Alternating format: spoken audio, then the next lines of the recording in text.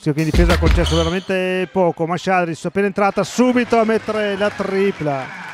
Masciadri, primi tre per uh, Raffaella Masciadri. Schio che va a più 10. Rimessa da fondo campo per Schio, Anderson. Masciadri ancora Anderson. Occasione da non fallire in una trasferta dietro l'angolo, no? Sì, comunque è una trasferta insidiosa nonostante sia vicina di territorio, ecco, perché comunque giocare in trasferta già non è facile, poi giocare in un campo come San Martino, come quello di San Martino, dove comunque loro fanno dell'aggressività e dell'intensità difensiva e offensiva la loro arma migliore, sarà, sarà dura. Noi, come abbiamo fatto fino adesso, guardiamo partita dopo partita e poi sabato alla fine della partita con Napoli guarderemo la classifica. Eh, certo il risultato di ieri di Ragusa può esserci favorevole, sì certo, però comunque poi i playoff bisogna giocarli e sappiamo che è tutto un campionato a parte.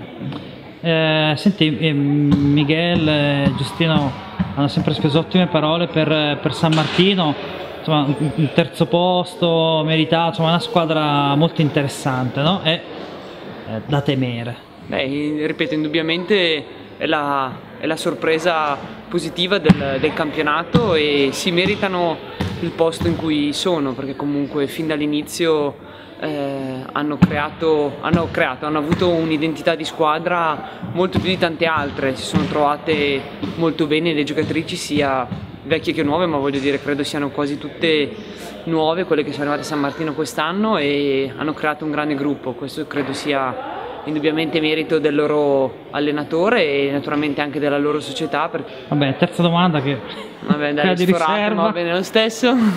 E, allora, Schia sembra a pieni giri.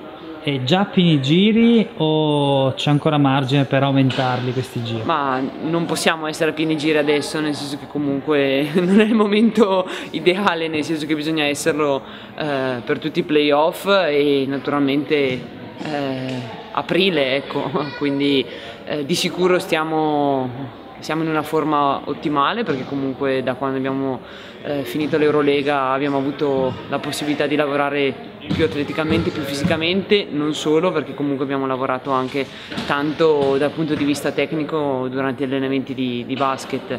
E lì l'intensità si è alzata settimana dopo settimana e i risultati sono quelli che si stanno vedendo in queste partite, però insomma Adesso dovremmo essere ancora al 60-70% perché comunque bisogna dare il 100% da, da settimana prossima in avanti.